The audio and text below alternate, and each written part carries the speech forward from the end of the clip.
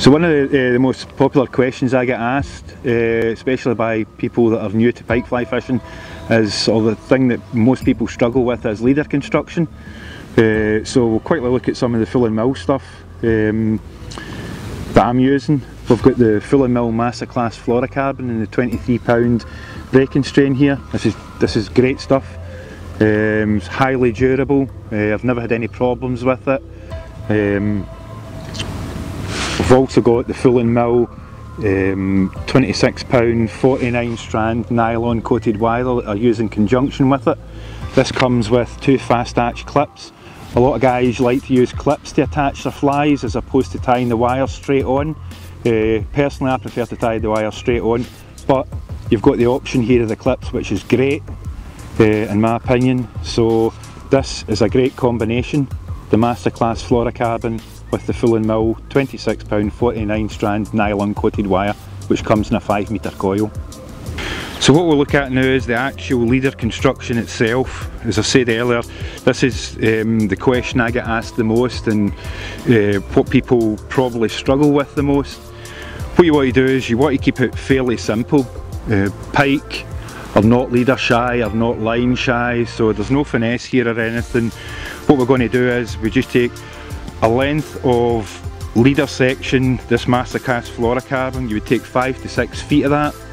You'd put a single surgeon's loop on each end. Uh, uh, one end would be attached to your fly line, the other end would be attached to your wire Again, we've got this, we've got the Fulling Mill 26 pound 49 strand nylon coated wire here. We'd put a loop in the end of this and loop to loop to the end of the leader. I would normally use about a 18 inch section of this.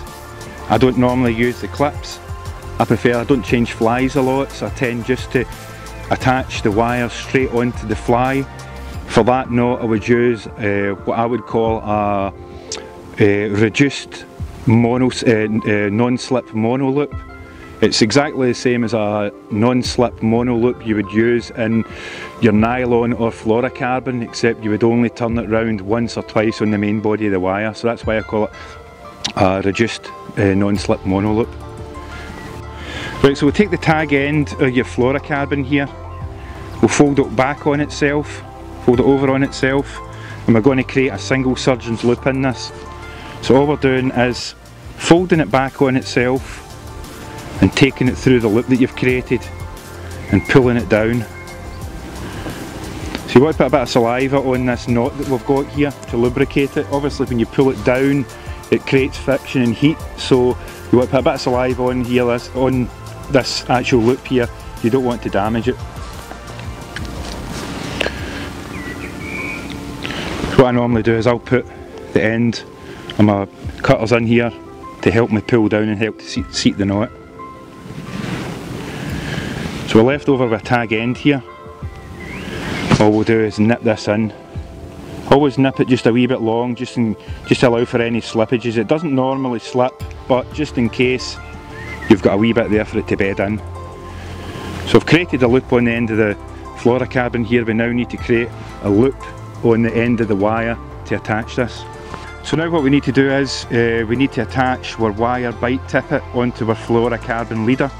So again what we'll do is we'll create a overhand single surgeon's loop in this wire. So we'll take a, a length, I like to use about 18 inches for this. Um, it means if I'm changing flies I can nip the leader back a wee bit without it becoming too short. Plus there's a lot of sharp places round about the outside of the pike's mouth, it's, it's, it's gill covers, so you, you, you, want plenty of wire, it's not going to catch any, anything sharp outside the pike's face as well. So uh, again, we'll create single surgeon's loop in the wire.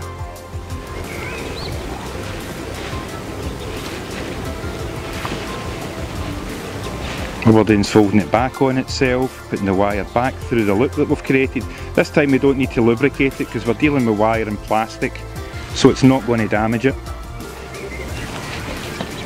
We'll put the handle the, the, the cutters in here, pull down on it, and then we'll pull on the tag end and snug it right down.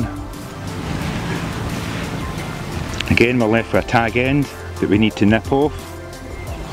Just leave it slightly long to allow for any, any movement in that knot and reseating or seating itself down. So that's our actual bite tippet that we're going to connect to the leader that we've already created. So this is a loop-to-loop -loop connection that, that, that, we're going to make here.